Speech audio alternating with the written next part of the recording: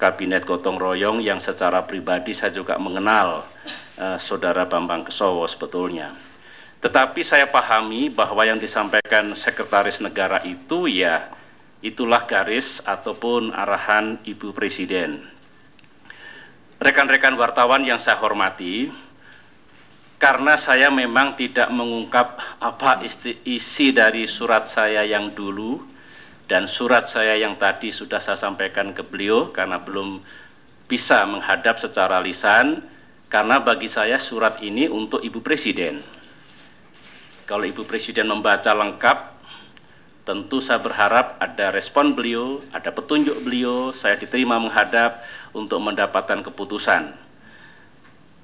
Justru saya, menghormati seperti itu, tetapi kemarin bah, uh, saudara Sekretaris Negara menjawab, merefer kepada surat itu dan jawabannya disampaikan kepada publik, kepada uh, para wartawan yang ada di istana kemarin.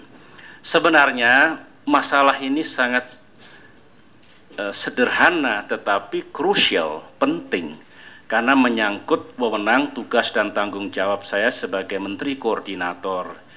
Saya merasakan dan saya menilai bahwa kewenangan saya untuk melakukan pengendalian operasional, arahan operasional terhadap pejabat jajaran Polkam mengemban tugas-tugas Polkam utamanya dalam pemilu ini yang oleh arahan Presiden pada tanggal 31 Januari tahun 2000 ulangi 13 Januari tahun 2001 dulu itu diserahkan kepada Menteri Koordinator nampaknya menurut pendapat dan penilaian saya itu dikendalikan langsung oleh Ibu Presiden. Saya hanya ingin mohon kejelasan apakah peran itu, wewenang, tugas, dan tanggung jawab itu masih berada pada saya atau ibu akan mengambil alih dan mengendalikan para pejabat itu secara langsung. Mengapa ini prinsip? Ini sudah masuk kampanye pemilu. Sangat dinamis situasinya, tidak mustahil ada gangguan maupun hambatan baik politik maupun keamanan. Seorang Menko Polkam yang tidak memiliki otoritas dan resources sebagaimana yang telah diatur sulit bagi saya untuk mengemban tugas dengan baik. Inilah sebetulnya dan isi dari surat saya yang menyangkut uh, posisi saya sebagai Menko Polkam sebetulnya itu. Namun sekali lagi eh, surat disertai permohonan untuk menghadap itu uh, tidak mendapatkan respon dan tentunya saya ber, beranggapan nihil untuk menghadap pun nampaknya tertutup dan tentunya uh, ini menyulitkan bagi saya untuk melaksanakan tugas lebih lanjut. Ada yang mengatakan saya ragu-ragu, saya takut, mengapa tidak mundur segera dan sebagainya. Bukan itu, saudara-saudara. Ada masalah, harus diatasi masalah itu saya harus berkonsultasi kepada Ibu Presiden bagaimana mengatasinya. Jadi justru saya menjalankan proses dan mekanisme yang benar menyangkut hubungan antara beliau Presiden dan saya sebagai pembantu Presiden, sebagai Menteri Koordinator di bidang politik dan keamanan. Atas itu semua, terus terang memang situasinya menjadi sulit karena situasi atau keadaan politik dan psikologis di tingkat kabinet ini tentu sulit bagi saya untuk bisa mengemban tugas dengan baik.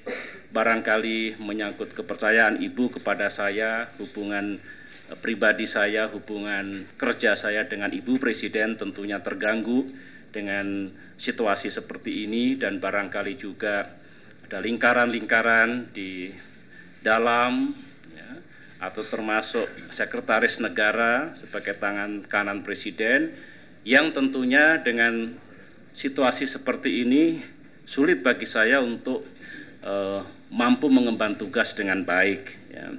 Dan kalau ini uh, saya tidak uh, memohonkan sesuatu yang tepat maka kinerja bisa terganggu kinerja presiden terganggu kinerja kabinet terganggu kinerja saya sendiri sebagai Menko Polkam yang tugasnya tidak ringan juga terganggu.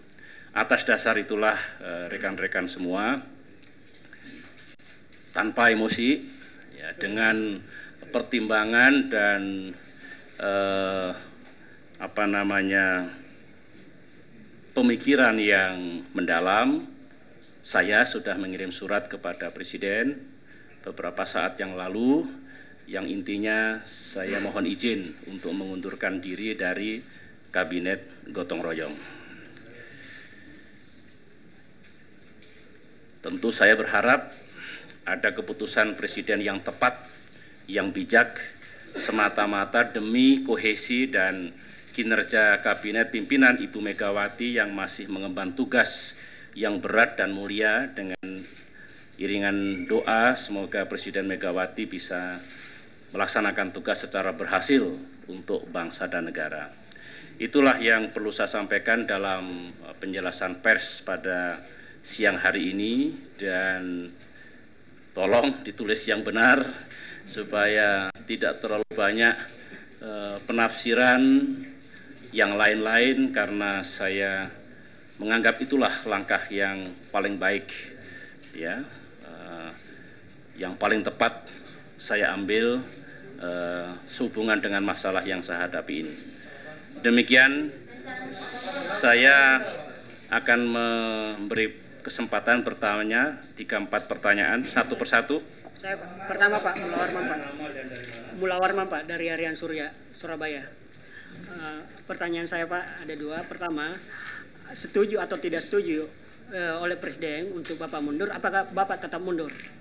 Kemudian melanjutkan mendaftarkan diri ke KPU sebagai calon presiden dari Partai Demokrat. Itu yang pertama, Pak. Yang kedua, satu saja. Saya mengajukan surat pengunduran diri. Saya menunggu dong keputusan presiden. Begitu etika politik dan etika pemerintahan. Saya tunggu.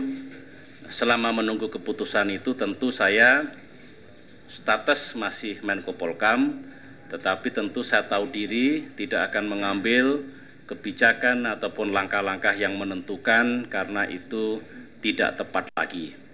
Ya.